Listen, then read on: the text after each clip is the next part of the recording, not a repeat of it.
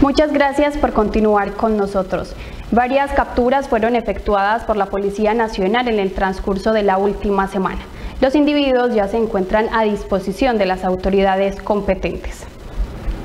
Se logró en primer lugar la recuperación de dos vehículos que se encontraban sometidos a procesos de extinción por órdenes judiciales en el tramo vial de la Medellín-Bogotá, en jurisdicción del municipio del Santuario.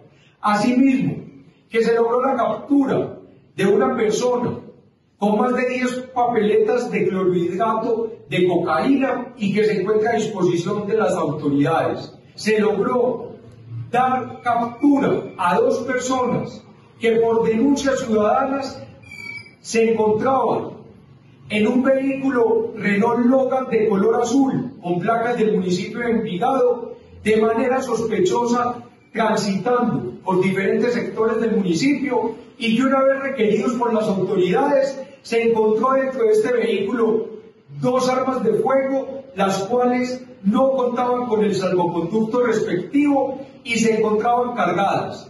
Estas personas se encuentran hoy a disposición de las autoridades y que frente a este vehículo que tanto inquietó a varias personas de nuestra comunidad, estas personas se encuentran judicializadas, el vehículo se encuentra inmovilizado y todo esto hace parte de un proceso judicial que se inicia gracias a la cooperación ciudadana.